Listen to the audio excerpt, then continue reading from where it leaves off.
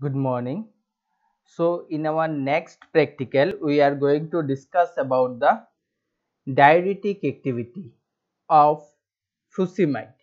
Now, the experiment is study of diuretic activity using metabolic cage.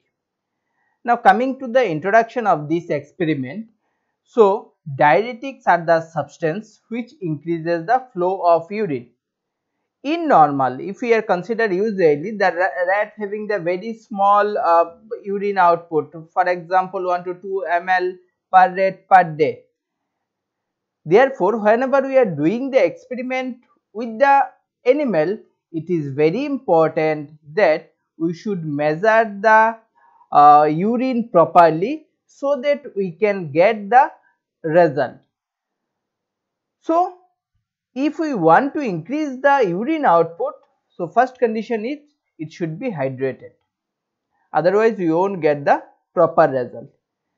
Similarly urine whenever we are going to give the different drugs for example frusemide which is a loop diuretic or a thiazide diuretic or you can say that acetazolamide carbonic anhydrase inhibitor these are the different diuretics are there after administration of this drug, what we are going to measure? We are going to measure that whether the urine outflow is increased or not.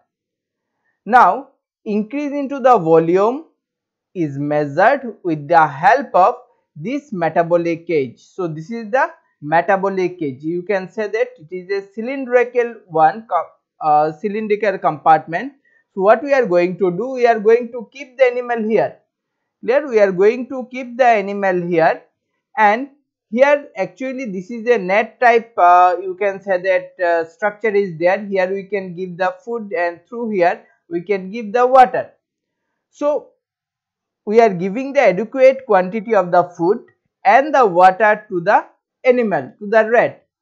And whenever whenever this rat passes the fecal matter or the urine the urine it will come and it will uh, accumulate into this particular portion of the metabolic cages and from here we can directly we can measure the urine.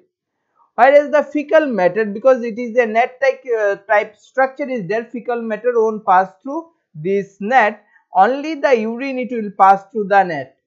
And therefore we can say that generally we are uh, measuring the 24 hours of urine the total quantity 24 hours of urine we are collecting and we are measuring the quantity. So uh, first of all what we are doing as we as we know that diuretic is a substance which increase the urine outflow.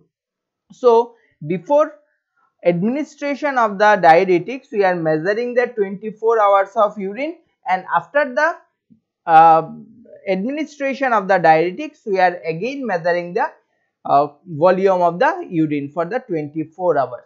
So, this experiment we are going to do again through the software clear we are going to do the software. So, you, I think you have understood what is the structure of the metabolic cage it is a very simple structure cylindrical one here the mesh are there nets are there to uh, prevent the flow of uh, fecal matter only the urine it will flow and through this we can give the water and the food. Clear? So let's see how we are performing the experiment using the software